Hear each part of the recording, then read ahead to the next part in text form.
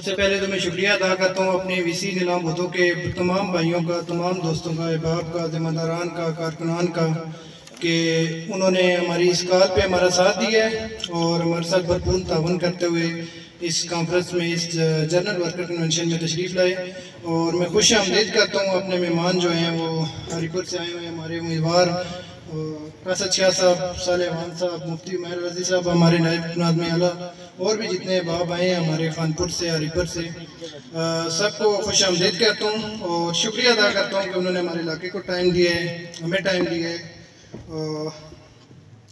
کیونکہ بات تو قید ہی کریں گے ہمیں تو چلو موقع دیا گیا ہے۔ تو چند ایک باتیں ہیں۔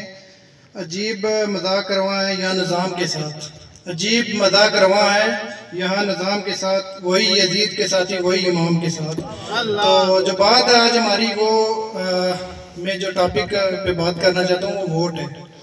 کیونکہ جنرل ورکر کنونشن ہے تو آپ کو جو معاملات بتائیں گے کہ ہم نے کس طرح کمپین کو لگے چلنے ہیں وہ تو قیدی نہیں بتائیں گے۔ ہمیں موقع دیا گیا تو اپنی بات شروع کرتے ہیں جی۔ ہمارے تقریباً چھہتر، ستر سال ہو گئے ہیں نا، ملک کو بنے ہوئے۔ تو میری بھی چوبیس، پچیس سال عمر ہو گئی ہے۔ سیاست میں بھی آئے ہوئے ہیں۔ تو الحمدللہ اللہ رسول کے نام کے ساتھ آئے ہیں، تو انہوں نے کامیابی دی ہے۔ لیکن ہمارے یہاں جو سیاست کا معیار ہے، وہ مختلف ہے۔ ہمارے یہاں کیا سیاست ہوتی ہے جی؟ اس نے ہمیں روڈ دے دیا، اس نے ہمیں گلی دے دی، اس نے ہمیں بور دے دیا، یہ ہمارا تھانے میں چلا گیا ہمارے کچہری میں چلا گیا۔ لیکن یہ میرے خیال میں یا میری سمجھ میں یہ سب فانی چیزیں ہیں۔ یہ آپ کے لیے آپ کی آج کل تو پچاس سال سے بھی اوپر بندہ نہیں جاتا۔ تو یہ لوگ آپ کے یہاں پہ کام آئیں گے۔ ٹھیک ہے جی اس نے تھانے میں کر لیا۔ کچھ کر کچھ بھی نہیں سکتے۔ ٹھیک ہے۔ لیکن ایک آپ کے سامنے جو ہے وہ آپ کو دلاسا دے دیتے ہیں جی بھائی ہم نے آپ کے ساتھ یہ کر دیے وہ کر دیے تو میں ایز اے یوتھ کونسلر ہوں۔ میں یہ چیز بات کرتا ہوں کہ چلیں، ہمیں ابھی تک تو خیر پاکستان کا نظام ہی ایسا ہے کہ یہاں پہ سب کچھ الٹی ہوتے ہیں ہمیں ابھی تک فنڈ نہیں ملا۔ لیکن اس بات کا میں ایز اے یوتھ کونسلر ایک بات کرتا ہوں کہ اگر مجھے فنڈ ملا اور ہم لوگوں کو ہی دیں گے، ہم خود بدن لگائیں گے۔ لیکن میں اپنی بات کرتا ہوں کہ میں جس کو فنڈ دوں گا، میں کبھی بھی اگر میں اس کو کہوں نا کہ یار میں نے تمہیں یہ کام دیے، تم اس کے بدلے مجھے ووٹ دو تو وہ مجھے گلے سے پکڑ لیں بھائی، یہ آپ کا پیسہ ہے۔ آپ کی جیب سے نکلا ہے، آپ ٹیکس دیتے ہیں تو یہاں تک یہ پیسہ لگتا ہے یہ کسی نہ امیدوار کا پیسہ ہے، نہ کسی اور کسی حکومت کا پیسہ ہے۔ یہ ادارے، یہ گورنمنٹ یہ امیدوار، یہ سیاسی جماعتیں ہمارے ہی پیسے چل رہی ہیں۔ ہمیں ہی لوٹتی ہیں۔ ہمیں ہی دے کے پھر ہم سے ٹیکس لے گے ہمیں دے گے اور ہم پہ احسان کرتی ہیں۔ اور ہم جو ہیں وہ ساری زندگی ان کے احسانوں کے تھلے دبے جو ہے نا وہ دبے رہتے ہیں۔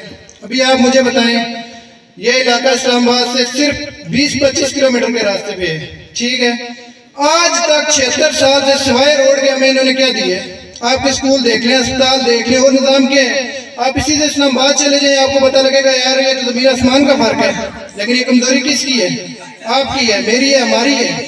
کیوں؟ کیونکہ ہم جو بندہ ہم میں سے آتا ہے، جو بندہ یہاں پہ راجہ نہ ہو، خان نہ ہو، ہم بندے کو تو مانتے کچھ نہیں ہے ہم اسی کے ساتھ چلتے ہیں، جو بھائی تکڑا ہو، جس کے پاس اچھی گاڑی ہو اچھا وہ کپڑے پہنے ہوئے ہو پیسہ ہو، جس کا بیک گراؤنڈ ہو۔ بیک گراؤنڈ کیا ہے؟ ادھر خانوں کا کیا بیک گراؤنڈ ہے؟ راجوں کا کیا بیک گراؤنڈ ہے؟ آپ بتا دینا مجھے۔ انہوں نے کیا کیا آپ کے ساتھ؟ آپ بس آتے ہیں، پانچ سال بعد، پانچ سال بعد کوئی بندہ آپ کو نظر نہیں آتا ادھر۔ آپ کے دکھ درد میں شریک نہیں ہوتا۔ آپ کو بیماری کے لیے اسلام آباد جانا پڑتا ہے۔ کوئی اسپتال ہے جو اسپتال ہے، ادھر اس کے حالات دیکھ لیں، اسکول کے دیکھ لیں۔ کالج جو انہوں نے بلڈنگیں بنا دی ہیں بس۔ ہمیں صرف انہوں نے لگایا ہوا اسی کے لیے جی بھائی ہمارے نعرے مارتے رہو۔ ایک فون کال آتی ہے پورے گاؤں کا، ایک بندہ اٹھ کے پورے گاؤں کی برادری کی چلیں جی میری برادری آپ کے ساتھ بھائی، برادری کیوں نہیں اسلام کے ساتھ کھڑی ہوتی؟ آپ اسلام کے مقابلے میں راجہ خانوں کو ترجیح دیتے ہیں؟ ابھی آپ کے راجہ فیصل صاحب آ رہے ہیں۔ ان سے ذرا سوال کریں نا، کیا کیا آپ نے پندرہ سال؟ کتنا ایک کام کیا ہے آپ نے؟ خان برادران ہے آپ نو سال پی ٹی آئی کی حکومت رہی ہے جی پی ٹی آئی نے بہت کام کیا۔ کیا کام کیا؟ ایک روڈ ہے۔ آپ روڈ کو ووٹ دیں گے یا اللہ رسول کے دین کو ووٹ دیں گے؟ دین کا نظام ہے، دین کا نظام آپ کو روڈ بھی دے گا، ہر دنیا کی سہولت دے گا۔ آپ مجھے بتائیں گے، آپ ایک چیز لیتے ہیں، یہاں پہ ماچس کی ایک ڈبی لے لیں آپ اس پہ دیکھیں، آپ ٹیکس دیتے ہیں، کتنا ٹیکس دیتے ہیں۔ ہر چیز پہ غیر پاکستانی قوم تو ہر چیز پہ ٹیکس دیتی ہے۔ لیکن ایک بندہ جس کی انکم بیس ہزار ہے، تیس ہزار ہے، چالیس ہزار ہے، وہ کتنا ٹیکس دیتے ہیں اتنا ہی ٹیکس دیتے ہیں ایک بندہ جس کی انکم ایک ارب ہے، ایک کروڑ ہے، اربوں میں کروڑ، اتنا ہی ٹیکس غریب بندہ بھی دیتا ہے، اتنا اربوں والا بھی دیتا ہے۔ تو یہ کیسا نظام ہے بھائی؟ آپ لاکھ ادھر عمران خان لائیں لاکھ نواز شریف لائیں لاکھ سرداری لائیں چھہتر سال نہیں، ایک سو چھہتر، دو ہزار چھہتر سال مزید لگا لیے ملک کلمے کے نام پہ بنا تھا، جب تک آپ اس نظام کو اس ملک میں نافذ نہیں کریں گے، تبدیلی نہیں آ سکتی۔ کیوں؟ کیونکہ آپ ایک، آپ نے ملک کس نام پہ لیا تھا؟ اللہ رسول سے وعدہ کر کے اسلام کے نام پہ لیا تھا۔ اور ہم، میں بڑے سیاسی جماعتوں سے بعد میں بات کروں گا، پہلے ہم لوگ اپنے میں دیکھیں کہ ہم اللہ رسول کے نظام کے ساتھ، اللہ رسول کے ساتھ غداری کر رہے ہیں چھہتر سالوں سے۔ چھہتر سال ہو گئے ہم نے وعدہ کر کے ابھی تک اس ملک میں اسلام کا نظام کیوں نہیں نافذ کیا؟ اور اسلام کا نظام وہ نظام ہے جو آپ کو یہ نہیں کرتا آپ جتنے بھی ڈیولپ کنٹریز ہیں، یورپ میں چلے جائیں، امریکہ میں چلے جائیں، وہاں پہ کیا ہے؟ انکم ٹیکس جو لوگ جن کے ہیں وہ پتہ کر رہے ہیں۔ آج کل تو سوشل میڈیا کا دور ہے سرچ کریں، وہاں پہ کیا چلتا ہے؟ انکم ٹیکس چلتا ہے نا بھائی، جس کی جتنی انکم ہوگی وہ اتنا ٹیکس دے گا۔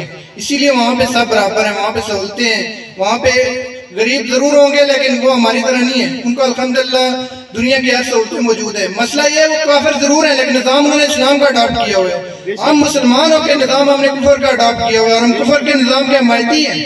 میرے نزدیک جماعتیں نہیں اتنی قصوروار جتنے ہم لوگ قصوروار ہیں۔ ہم ان کو ووٹ دیتے ہیں ان کو اسمبلیوں میں پہنچاتے ہیں ان کے ساتھ کھڑے ہوتے ہیں۔ بھائی کیوں؟ قبر میں کوئی کس نے کام آنا ہے؟ حضور نے کہا مانا ہے نا اللہ رسول کے نام پہ ووٹ دیتے یار، سب اپنا اپنا کماتے ہو کسی کو امیدوار نے دیا ہے تک کسی کو کوئی دیا ہے، کوئی دیتا ہے؟ روٹی کون کماتا ہے؟ اپنے آپ سے ہر بندہ مزدوری کرتا ہے، دیہڑ لگاتا ہے، جیسے بھی کماتا ہے نا؟